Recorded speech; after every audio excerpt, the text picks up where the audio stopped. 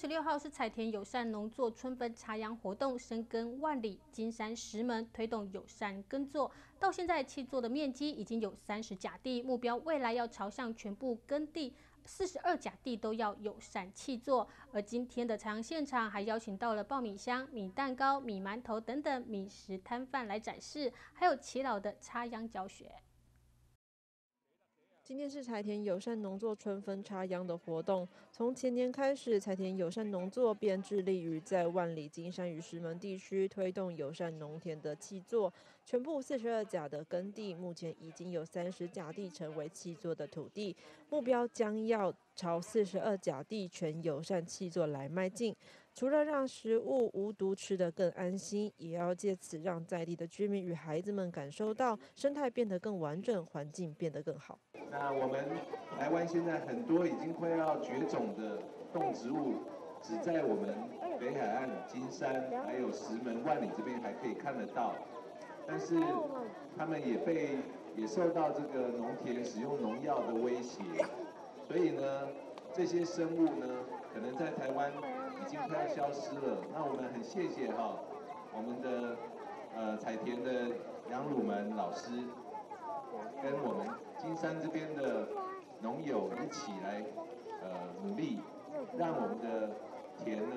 能够用友善的方式，也就是不用农药。借由小朋友的手亲自种下这一颗稻米，从种子开始发芽到长大，到把它收获采。把它收获起来，再把它变成一个白米，整个过程都让我们小朋友都可以参与到，都可以了解到。选在三河国小旁的农田，邀请三河国小、中角国小以及秀山国小共一百五十位学童一起来插秧。从敬天谢土开始的祭拜，到地方耆老的插秧经验分享，还有米食料理、蹦米汤、米蛋糕、米馒头与超蛙柜的展示。彩田友善农作希望透过这场不一样的春分插秧，带给孩子家乡土地的温度与生命力。也感谢这么多的朋友，这么多的长官协助着我们，协助着彩田会越来越好，也让我们这个环境会越变越好的时候，我们也希望透过这种米食教育的活动，就是我们希望让小孩子可以从插秧、除草、除子做秧，到之后的割稻，到之后我们会